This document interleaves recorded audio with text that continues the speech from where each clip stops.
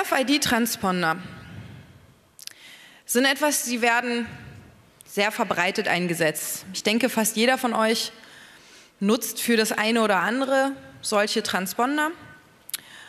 Und besonders beliebt sind sie ja auch gerne mal als Zugangssystem. Wir hören jetzt einen Vortrag über den Hightech S, der eigentlich eingesetzt werden soll für unkritische Systeme wie Logistik oder Wäschereiautomatation. Spannende Themen.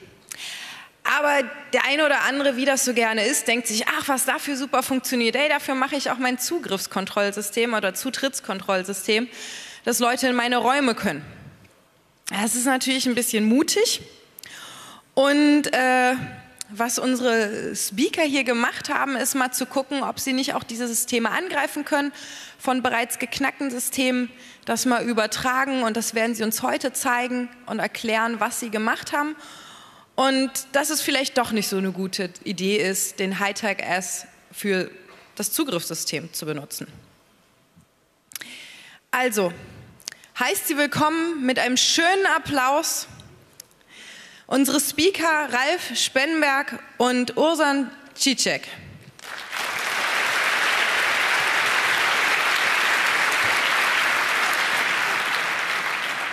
Ja, hallo. Ähm ich freue mich, hier sein zu dürfen. Äh, mein Name ist Ralf Spenneberg, das ist Osan. Der dritte, der hier auf der Folie steht, ist leider erkrankt und konnte deswegen nicht mitkommen.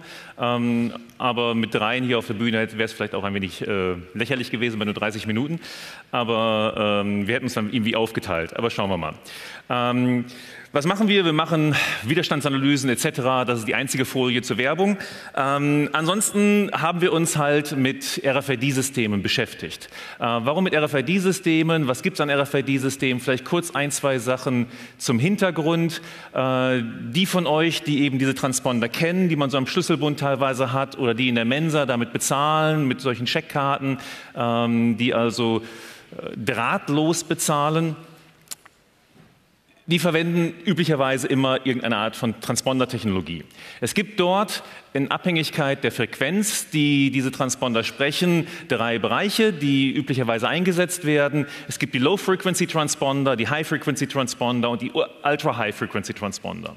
Wir beschäftigen uns hier nur mit den Low-Frequency-Transpondern. Äh, die Low-Frequency-Transponder werden eingesetzt in erster Linie eben, wo ich einen sehr engen Kontakt herstellen kann oder auch herstellen möchte oder herstellen muss. Äh, ihre Reichweite ist relativ gering. Darüber hinaus können sie leider Gottes auch häufig nur sehr wenig Energie transferieren. Wenn ich also einen passiven Transponder einsetze, dann kann er nur recht gering angeregt werden und kann damit keine großartigen mathematischen Operationen durchführen was bei den High-Frequency-Transpondern ein wenig anders ist.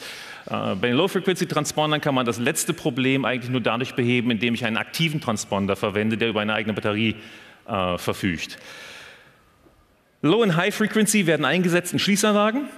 Da werde ich am Ende nochmal wieder darauf zurückkommen. Ähm, Ultra High Frequency wird verwendet vor allen Dingen in Logistik, wo ich noch größere Reichweiten brauche, wenn ich also eine Palette aus einer größeren Entfernung auslesen möchte. Äh, ansonsten werden Low- und High-Frequency-Transponder eben für alles Mögliche eingesetzt, in Büchereien, in Wäschereien, äh, allgemeine Logistik etc. Der Hightech S ist ein 125 Kilohertz Transponder. Es gibt ihn in drei verschiedenen Varianten. Die Varianten mit 256 Bit und 2048 Bit verfügen über einen eingebauten Authentifizierungsmechanismus. Äh, dieser Authentifizierungsmechanismus verwendet einen 48 Bit Schlüssel.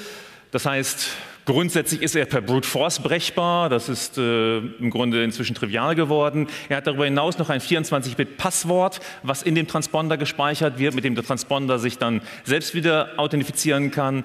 Dazu gleich mehr. Und verwendet dabei einen bisher nicht dokumentierten Verschlüsselungscipher.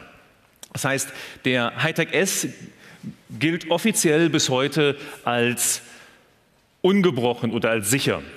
Es sind weitere Transponder aus der Hightech-Familie in der Vergangenheit gebrochen worden und wir haben uns eben angeschaut, äh, ob man nicht diese Angriffe tatsächlich auf den Hightech-S übertragen kann. Denn äh, warum machen wir das Ganze überhaupt?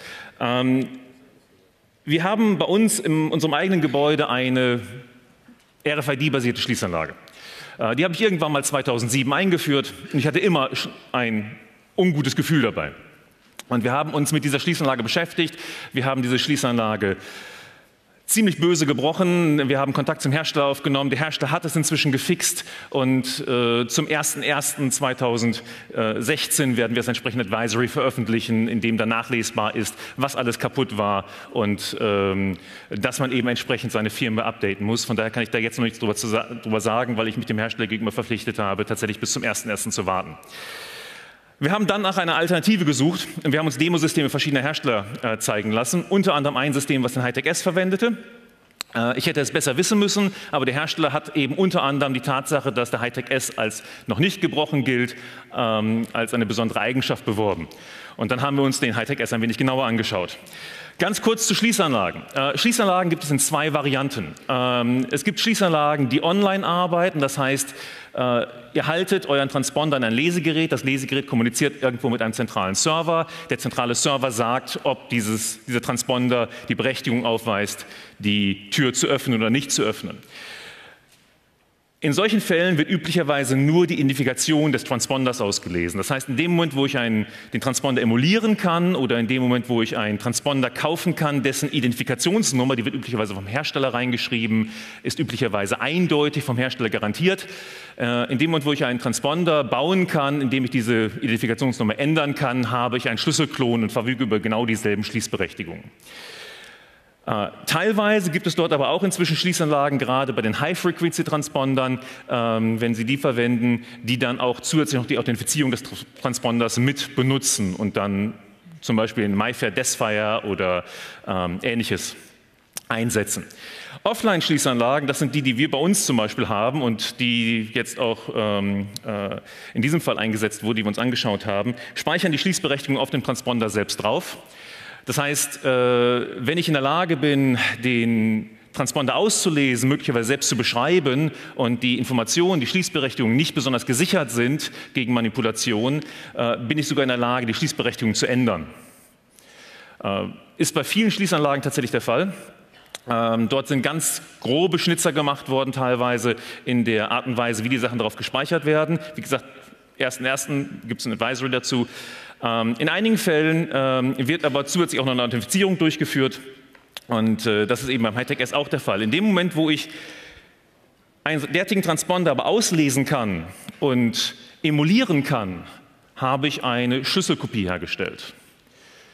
Und jetzt ist das Problem bei den äh, Transpondern, dass das ja häufig einfach im Vorbeigehen passieren kann. Ich sitze in der Straßenbahn, habe meinen Transponder in der Tasche, habe nicht so ein RFID-Shield, wie man es hier kaufen kann auf dem C3, äh, und jemand setzt sich neben mich mit dem Rucksack und liest aus 30 cm Entfernung meinen Transponder aus und hat dann eine Schlüsselkopie. Ähm, und äh, das sollte so ein Transponder verhindern und das haben wir uns halt ein wenig angeschaut. Und jetzt übergebe ich an Osan, der ein bisschen was zu den technischen Details erzählen wird. Ja, danke, Ralf. Das erste, was wir gemacht haben, ist, wir haben uns mal die Authentifizierung angeguckt. Wie wird zwischen dem Leseschreibegerät und dem Transponder authentifiziert? Das sieht so aus, dass als erstes allen Transpondern in der Reichweite die UID abgefragt wird. Daraufhin, daraufhin antworten alle Transponder mit ihrer eindeutigen 32-Bit UID. Dann schickt das Leseschreibegerät einen sogenannten Select-Befehl und wählt eins dieser Transponder aus, mit dem es kommunizieren möchte. Dieser ausgewählte Transponder schickt dann seine Konfiguration Bytes 0 bis 2 dem Leseschreibegerät und aus diesen Bytes kann man alles über den Transponder entnehmen, was man benötigt. Also welche Speichergröße hat dieser Transponder, möchte der sich überhaupt authentifizieren, welche Seiten darf ich überhaupt lesen, welche darf ich beschreiben, dann kommt noch hinzu, welche Modulation muss ich verwenden, mit welchen Geschwindigkeiten. Dies kann ich alles aus diesen Konfigurationen Bytes rausnehmen. Falls jetzt gelesen wurde, es möchte sich authentifizieren, dann geht das Leseschreibegerät hin und bestimmt eine 32-Bit-Zufallszahl. Mit dieser Zufallszahl wird sogenannte Secret Data berechnet, 32 Bit lang. Und diese Kombination dieser, auch Challenge genannt, dem Transponder übermittelt. Wenn der Transponder nun auch auf dieselbe Secret Data schließt, wird impliziert, dass das Leseschreibegerät diesen geheimen Key kennen muss. Jetzt geht der Transponder hin und verschlüsselt seine drei Passwort-Bytes und ein Byte der Konfiguration und schickt es dem Leseschreibegerät. Wenn der diese entschlüsselt und das richtige Passwort ausliest, sind beide gegenseitig authentifiziert. Danach kann die unverschlüsselte Datenübertragung zwischen diesen Komponenten stattfinden. Die nächste Frage ist natürlich, womit wurde da diese Secret Data berechnet und wie wird verschlüsselt und entschlüsselt. Wenn man sich das Memory Layout vom Hightech S mal genauer anschaut und mit dem bereits gebrochenen Transponder vom Hightech 2 mal vergleicht, dann erkennt man sehr große Unterschiede, insbesondere da, wo die Konfiguration bei sich befinden und wo der Key und das Passwort gespeichert sind. Zudem wird im Datenbank erwähnt, dass ein Leseschreibegerät, der sich authentifizieren möchte, einen ganz bestimmten Co-Prozessor implementieren muss, und zwar den Philips HTRC 130. Dieser wird von allen Transpondern der Hightech-Familie verwendet und wir haben uns diesen mal genauer angeschaut, und zwar das Kommandointerface. Welche Kommandos kann man da überhaupt senden auf diesen Co-Prozessor? Da kennt man ziemlich schnell, es gibt spezifische Kommandos, um das Hightech 1, 2 und S Verschlüsselung anzustoßen, aber es gibt keine Hightech S spezifischen Kommandos, um die Daten ins EEPROM zu speichern. Daraus kann man schließen, dass dort ähnliche Parameter verwendet wurden wie bei den anderen Transpondern. Zudem kommt noch die Tatsache hinzu, dass ein Co-Prozessor, der bei drei verschiedenen Transpondern verwendet wird, sehr unwahrscheinlich drei komplett verschiedene Cipher implementiert. Unter diesen Annahmen haben wir einfach behauptet, die Annahme getroffen, dass dieser Cipher vom Hightech S ähnlich oder gleich des Hightech 2 ist. Der Hightech 2 Cipher ist schon seit knapp zehn Jahren bekannt. Den hat der Herr Zerwiener reverse engineert und publiziert. Der sieht so aus. Der besteht im Grunde aus zwei Dingen. Einer nichtlinearen zweistufigen Überführungsfunktion f und einem 48-Bit-Schieberegister. Eine Eigenschaft dieses Ciphers werden wir für die folgenden Angriffe benötigen. Und zwar, wenn man sich die Initialisierung dieses Ciphers anschaut, dann erkennt man, dass die Outbits erst verwendet werden können, wenn der Cipher initialisiert wurde. Also wir müssen in diesem 48-Bit-Schieberegister einen sogenannten Initialzustand erreichen. Das wird so gemacht, dass dort die 32-Bit UID des Transponders und die hinteren 16 Bit des Keys genommen werden und damit wird der Cipher initialisiert erstmal. Also das Schieberegister wird damit initialisiert. Dieser wird nur 32 Mal geschiftet und beim Shiften wird die neue Stelle ganz rechts immer aufgefüllt. Und wenn ich 16-Bit des Keys in ein 48-Bit-Schieberegister stecke und dann 32 mal shifte, dann fallen diese ja nicht raus in diesem Initialzustand, sondern die befinden sich weiterhin in der ersten Position. Was wir jetzt mit diesem Cipher gemacht haben, ist, wir haben den Proxmark genommen, das ist ein RFID-Tool, da komme ich gleich noch zu sprechen, und haben das Hightech S-Cipher implementiert mit diesem Cipher des Hightech 2. Und damit haben wir erstmal einen Transponder, einen Hightech S-Transponder, in das Authentifizierungsmodus versetzt mit, mit einem uns bekannten Key. Und damit war es tatsächlich möglich, bei dem Hightech S sich zu authentifizieren. Damit ist die Annahme erstmal bestätigt worden, dass dort derselbe Cipher verwendet wurde, den Sie hier sehen können. Der wird zwar nicht exakt für das gleiche verwendet, der Cipher an sich ist aber dasselbe. Bevor wir jetzt mit den Angriffen starten, brauchen wir erstmal ein bisschen Hardware und ein bisschen Software. Als Hardware haben wir den sogenannten Proxmark, wie, wie gesagt, genommen. Das ist ein General Purpose RFID-Tool. Der kann sowohl im Low- als auch im High-Frequency-Bereich alle möglichen Daten empfangen und senden. Da haben wir einige Software dazu geschrieben, zum Beispiel ein Lese- und Schreibegerät, um so einen Transponder zu lesen und zu beschreiben natürlich, und einen Emulator, um anschließend, wenn ich diesen Key erstmal gebrochen habe, auch mal so einen Transponder emulieren zu können. Jetzt, bevor wir überhaupt zu den komplizierteren Angriffen kommen, erstmal die einfachen. Und zwar ein Replay-Angriff ist möglich. Vielleicht hat es der eine oder andere schon gesehen. Und zwar, in der Authentifizierung haben wir nur einen einzigen Zufallsvariablen und der wird vom Leseschreibegerät bestimmt. Wenn ein Angreifer also diese komplette Kommunikation mitschneidet, zum Beispiel mit dem Proxmark, dann kann er diese Challenge-Nachricht erneut dem, ähm, dem Transponder schicken. Und das Einzige, was ihm übrig bleibt, ist halt zu implizieren, dass ich den Key kennen muss. Weil ich kann ja natürlich als Angreifer seine Antwort darauf nicht entschlüsseln, um seinen Passwortbytes auszulesen, aber die interessieren mich ja nicht. Weil ich kann hiernach, also nach einem einfachen Replay-Angriff, dieselben Befehle ausführen wie ein echtes Leseschreibegerät. Dann hat, hat der Ralf das schon kurz erwähnt. Ups, die Technik spinnt. Brute Force Angriffe ist nur 48-Bit Key. Der Cypher ist nicht wirklich komplex. Wenn man da ein paar Server nimmt, kann man den Key bereits in einigen Wochen brechen. Dann gibt es einen weiteren Angriff, und zwar diesen, das ist ein Angriff gegen den Hightech 2. Der wurde vor knapp vier Jahren veröffentlicht in dem Paper Gone in 360 Seconds auf der Usenix. Der benötigt 150 Challenges, also 150 verschiedene Authentifizierung. Und wenn ich die aber erstmal habe, brauche ich für diesen Angriff nur fünf Minuten. Das ist ein rein mathematischer Angriff, der eine andere Schwachstelle des Cyphers äh, ausnutzt, an der wir jetzt nicht weiter darauf eingehen werden. Dann gibt es noch ein, ja, das ist eher ein Designfehler von, von Ihrer Seite. Und zwar, wenn man sich die Konfiguration Bits mal anschaut, dann gibt es drei Bits, die interessieren uns besonders. Das Out-Bit, wenn das gesetzt ist, möchte der Transponder sich authentifizieren.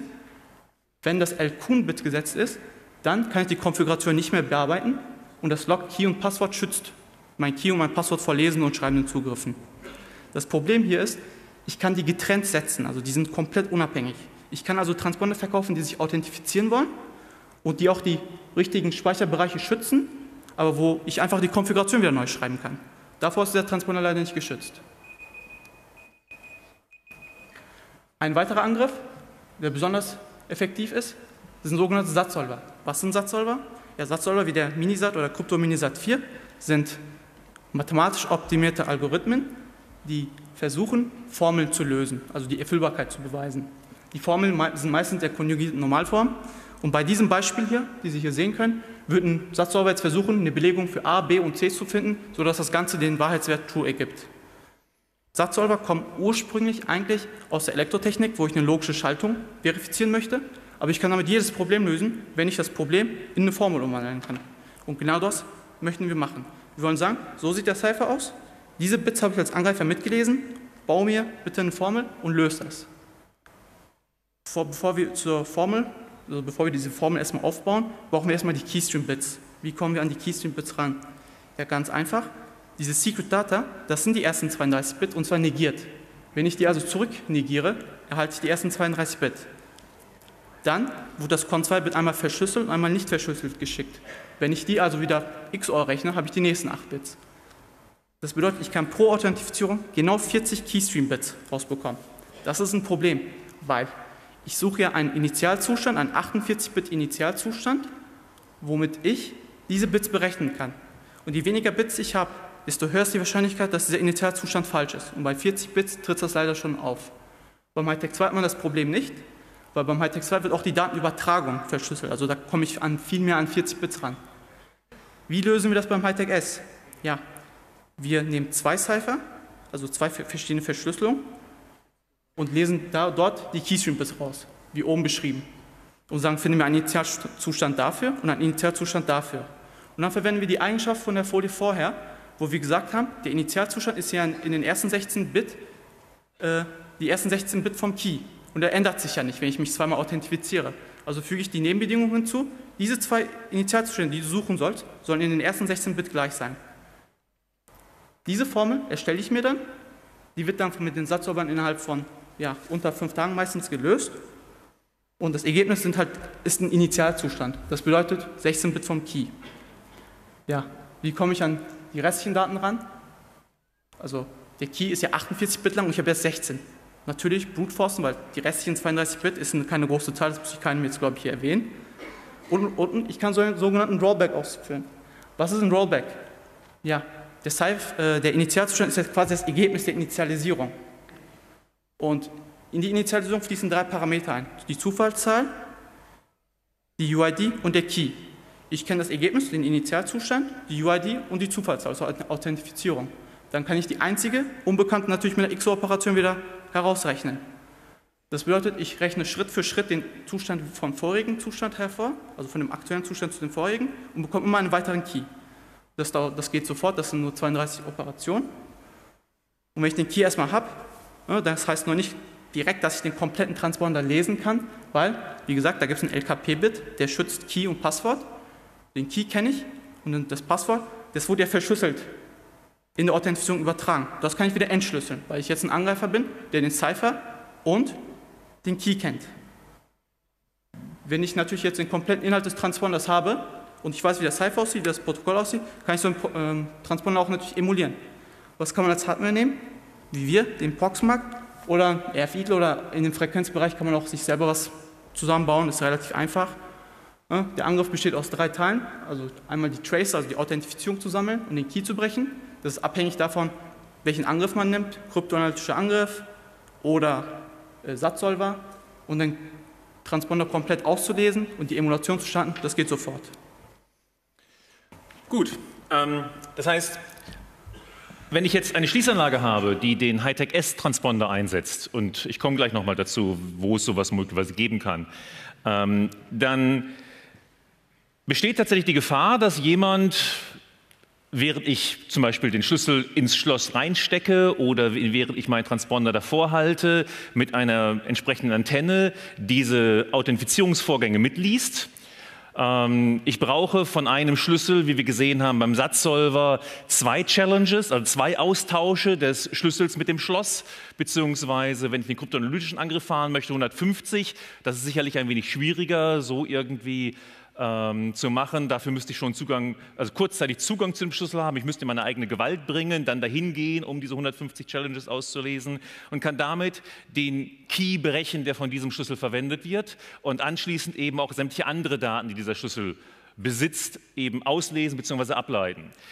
Das heißt, äh, ich bin in der Lage, tatsächlich einen Klon herzustellen.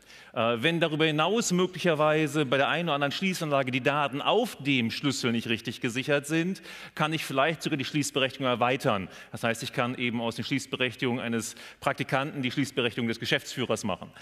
Ähm, auch das haben wir tatsächlich bei einer gewissen Anlage gesehen. Das war aber nicht eine Anlage, die auf Hightech S basierte. Wir haben uns dann umgeschaut und haben geschaut, was gibt es sonst noch an, an Low-Frequency-Transpondern. Alle anderen Low-Frequency-Transponder, die wir gefunden haben, waren entweder schon gebrochen oder verwenden äh, Verfahren, die wahrscheinlich genauso einfach zu brechen sind wie jetzt dieses Verfahren vom Hightech S. Äh, das heißt, äh, die Low-Frequency-Transponder verfügen grundsätzlich nicht über genügend Energie, unserer Ansicht nach, um sichere Verfahren wie ein AES-Verfahren oder etwas Ähnliches einzusetzen. Äh, das heißt, ich brauche tatsächlich, wenn ich Schließanlagen sicher implementieren möchte, Zutrittskontrollsysteme sicher implementieren möchte, High-Frequency-Transponder. High-Frequency-Transponder heißt aber jetzt nicht grundsätzlich meine Schließanlage sicher, weil auch dort gibt es zum Beispiel so Sachen wie den MyFair Classic.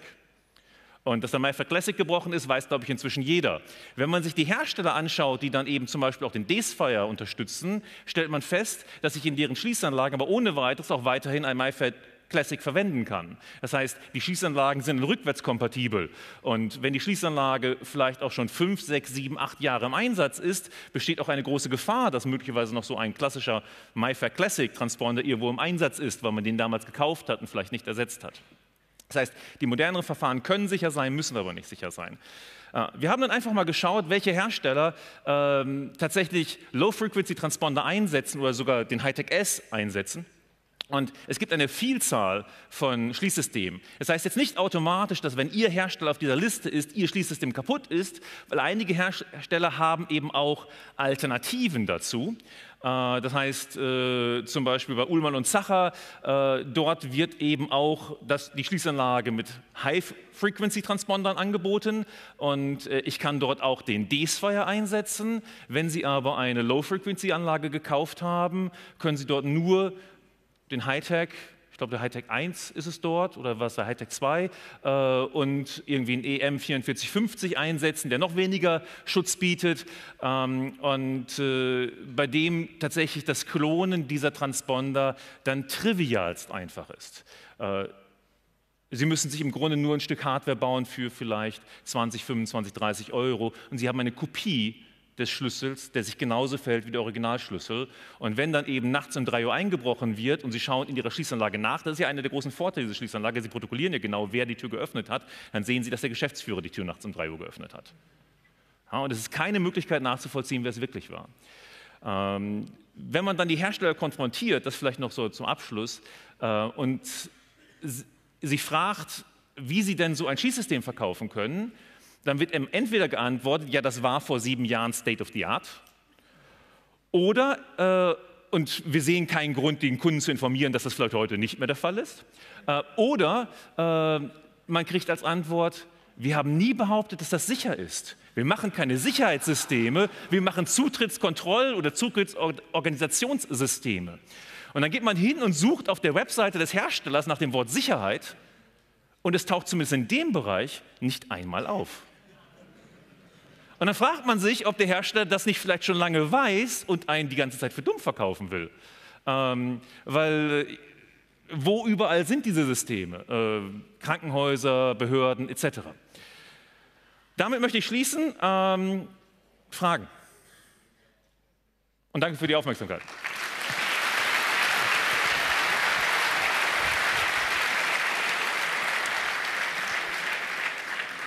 Vielen Dank. Also ich habe gelernt, ich werde jetzt auf jeden Fall genauer auf Herstellerseiten lesen, wenn ich damit zu tun habe, äh, was da so steht und was nicht. Wir haben noch fünf Minuten für Fragen. Wenn ihr Fragen stellen möchtet, geht bitte zu einem der sechs Mikrofone, die hier in den Gängen stehen. Und natürlich auch an alle, die uns in den Streams folgen. Es gibt die Möglichkeit, im IRC Fragen zu stellen, die dann nette Engel hier uns vor Ort vorlesen. An Mikrofon 3, das sehe ich eine Frage? Ja, eine Frage. Kann man dann ohne, ohne Besitz des Transponders ähm, Paare sammeln zwischen, äh, von, von Challenge und sozusagen äh, vom Reader generierter Response, wenn man einfach zum Leser hingeht? Ähm, nein, also das, der Punkt ist ja, ich brauche, der, der, Leser muss glauben, dass er mit dem Transponder spricht und äh, muss dem Transponder eben Daten schicken. Also was man machen kann, wenn Sie wenn du Zugang hast zu dem äh, Transponder, also die ID des Transponders irgendwie anders aus größerer Entfernung auslesen kannst, kannst du natürlich einen Emulator bauen, der erstmal behauptet, diese ID zu sein. Damit genau, ja. kannst du dann zum, zum Lesegerät hingehen, das Lesegerät wird dir dann den Challenge schicken ähm, weil es ja diesen Transponder jetzt eben äh, aktivieren möchte. Äh, das heißt, so ja, aber ich muss einmal die, eine, eine gültige ID ausgelesen haben. Kommt, wobei es kommt ein bisschen auf das Schließsystem an. Ich, wir haben auch ein Schließsystem gesehen, was äh, wohl die Hardware-IDs nicht wirklich ähm, intern sich merkt. Ähm, das heißt, äh, äh, das arbeitet ein bisschen anders. Also da, da, kann man wahrscheinlich sogar mit einer beliebigen ID dahin gehen. Man bekommt ein Challenge von dem, von dem Lesegerät geschickt. Okay, danke. Gut, die nächste Frage von Mikrofon Nummer 5 da hinten. Ich habe zuletzt CT gelesen und da war so ein schöner Artikel über Mercedes, die über Relay-Angriffe äh, geöffnet werden. Habt ihr sowas auch ausprobiert? Sprich, äh. einer fährt mit der Straßenbahn und dem Schlüsselhalter mit und der andere steht an der Tür. Äh, wir haben es nicht direkt ausprobiert, aber trivial einfach mit dem Transponder. Also keine Timing-Geschichten? Nein. Gut, Mikrofon Nummer 4. Äh, ja, meine Frage ist, äh, werden Sie die Proxmark Sourcen releasen? Äh, ich denke schon, ja. Also zumindest Teile davon, ja. Okay. Also, ja. Okay. Äh, NXP ist übrigens, also NXP ist der Hersteller dahinter. Ursprünglich hat Philips das Ding gebaut. Äh, NXP ist kontaktiert worden von uns vor, erste Mal vor vier oder fünf Monaten. Da hatten wir keine Antwort. Dann nochmal vor irgendwie 60 Tagen oder 45, 50 Tagen. Ähm, NXP ist informiert und hat eben auch seine Kunden angeschrieben. Das heißt, wenn hier ein Kunde drin sitzen sollte, der diese Transponder einsetzt in eigenen Applikationen, äh, verlassen sich nicht eben mehr auf die Identität des Transponders. Also wenn die Identität des Transponders wichtig ist für die Sicherheit ihrer Applikation, sorry, ihrer Applikation, dann ist die Applikation kaputt. Ähm, Schließsysteme nebenbei bestehen häufig aus 500.000 oder mehreren Schlössern und so 10.000 Transponder, die ich tauschen muss in größeren Gebäuden. Schwer zu tauschen. Dann schließe ich noch mal mit. Haben wir noch eine Frage? Ah, hier kommt noch eine Frage aus dem Internet. Gut, für eine haben wir noch Zeit. Bitte. Ähm, könnte man, wenn man äh, diese Kommunikation aufzeichnen will bei 125 Kilohertz, auch Soundkarten einsetzen dafür? Oh, gute Frage. Analyse. Äh, keine Ahnung. Äh, haben wir nicht gemacht. Äh, wir haben Oszilloskope eingesetzt, um uns das anzuschauen, was dort übertragen wird. Ähm, aber wenn, der, wenn, die Soundkarte die 125 Kilohertz auflösen kann, dann wäre das wahrscheinlich sogar machbar, äh, dort das zu machen. Äh, man muss sich dann eben ein wenig mit, den, mit der Modulation Ähnlichem beschäftigen. Das ist nicht ganz trivial bei den Transpondern. Gut, dann nochmal einen herzlichen Applaus und vielen Dank für diesen wundervollen Talk.